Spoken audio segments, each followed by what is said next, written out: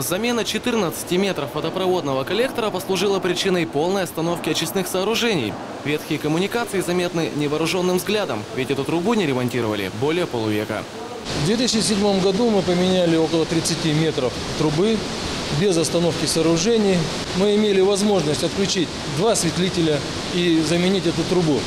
Вот. Ну а на сегодняшний день придется первую ступень очистки воды полностью отключить, поэтому ну, есть необходимость отключения полностью сооружения. Жители микрорайонов Смолино, Глинки, Керамзитный, Увал, Затобольный, Утяг, поселка Варгаши и 13 дома по улице Криволапова в Кургане на три дня останутся без водоснабжения.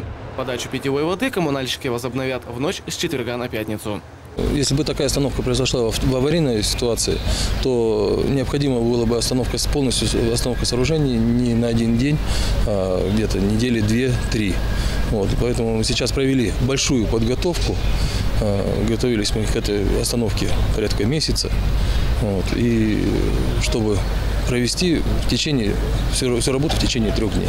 Кроме того, во время остановки очистных специалисты Курганводоканала устранят три утечки в районе садов «Коммунальник» и заменят 40 метров аварийной трубы под железной дорогой в Керамзитном микрорайоне.